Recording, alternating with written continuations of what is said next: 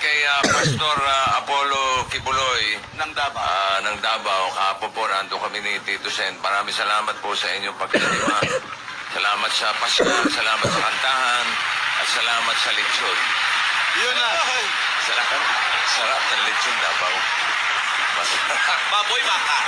Ikinain ko kayo. Yun, salamat. At kinakamusta kayo ni Pastor Apollo. Pastor! Pastor! Uh, baka naman umabot pa dito yan. Simulation nila? Baboy baka. Baboy. Mm. Iba rin. Kaysa sa Iba, iba rin. Masarap. Iba-iba talaga mga Thank you, lechon. Pastor. Maraming maraming Ay, salamat. oo. Alam niyo bakit mahal ko si Bossing Big Soto? Pati yung programa niyang Eat Bulaga. Tingnan ninyo ang ginagawa nila para sa tao. Hindi nila ipinapatutsada. Gumagawa sila ng mga paaralan. Tinutulungan yung mga nandoon sa mga barangays. Kaya in-invite ko sila dito.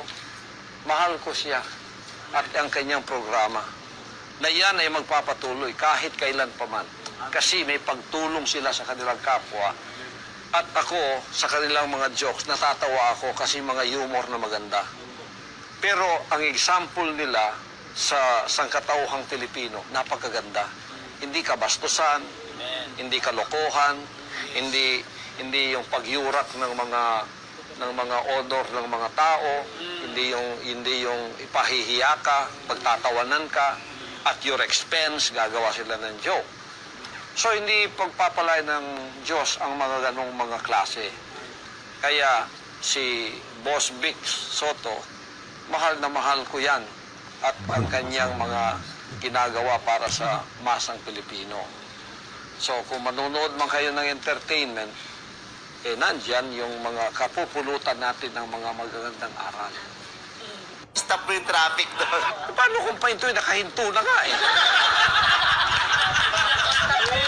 dapat mo, dapat mo sinabi, pabilisan. Pabilisan traffic. Let traffic flow.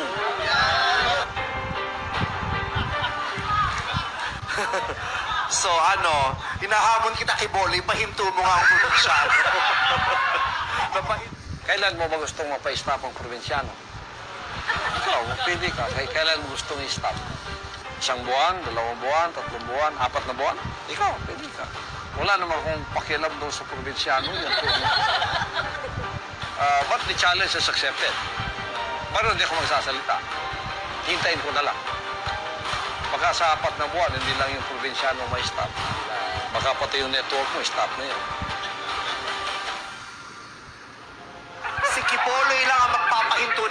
Probinsyano, abangan nyo yan. Stop! Gaganyan ka lang. Pahinto mo pala ang ano eh, Lindol eh. Apakayabang nyo pala eh. So kayo, pag kayo nasa entertainment at masyado na kayong sikat, pati yung network niyo masyadong sikat, think about helping humanity.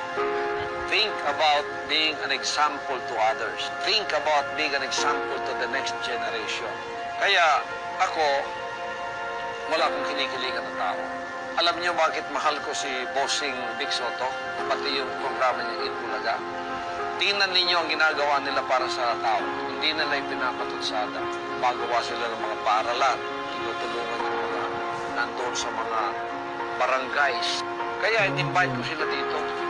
Mahal ko siya at ang kanyang programa. Ayan ay magpatuloy kahit kailan pa man. Kasi may pagtulong sila sa kanilang kapwa. At ako, sa kanilang mga jokes, natatawa ako kasi mga humor na maganda. Pero ang example nila sa sangkatauhang Pilipino, napakaganda.